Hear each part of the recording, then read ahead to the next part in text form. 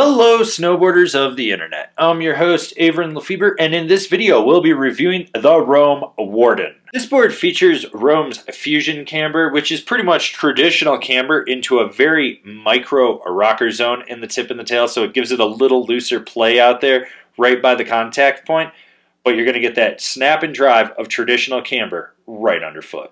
This board is available in 149, 152, 155, 157 wide, 158, and 160 wide. I rode this board at Copper Mountain on a sunny bluebird day. There was a little bit of haze in the skies, but really not much.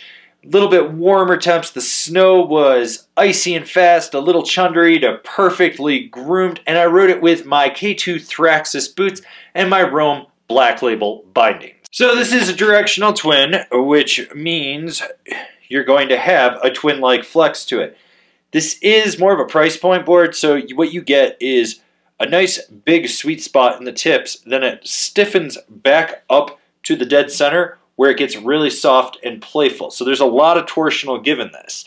Now, this is a very lively board. You will feel everything right underfoot, and there will be a lot of chatter out in the tip and the tail. So keep those knees bent. Be prepared to just get bucked around if you decide to go Mach 10 into a mogul field.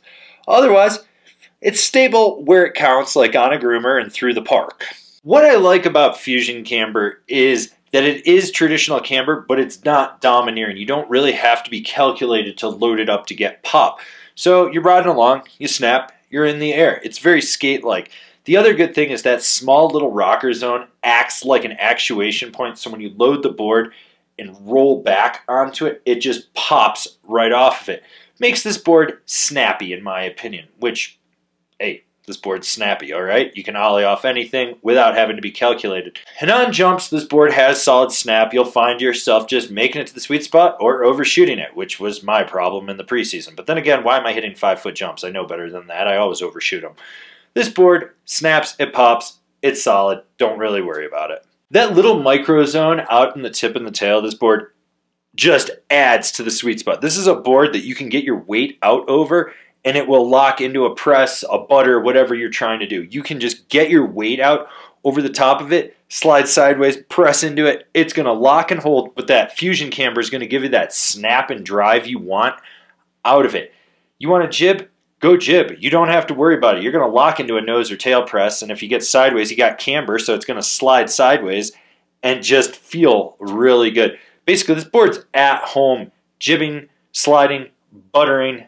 When it comes to the ease of transition from toe to heel on this board, it's prime. This is a very smooth board from getting it from edge to edge.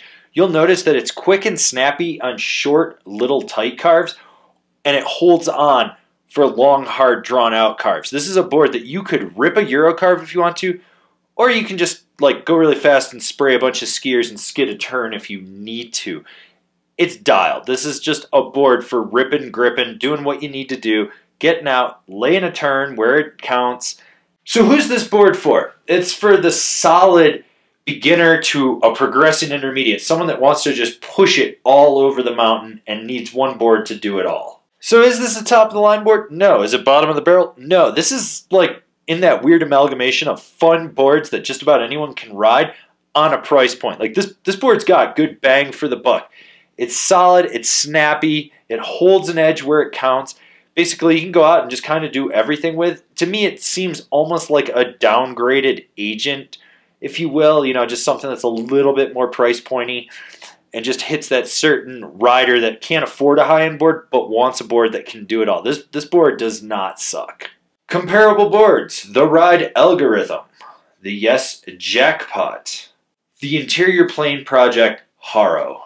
This has been my review of the Rome Warden. Do you agree? Do you disagree? Do you own one? Are you going to buy one? Leave me a comment down below. Let's have a conversation about this snowboard. If you're new here, remember to subscribe, click the bell, get those notifications. That way you're not missing any of the content we got coming out for all you snowboarders of the internet.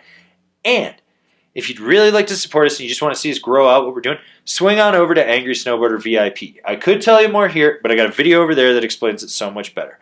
As always, I've been your host, Avran LeFeber, and I'll see you in another video.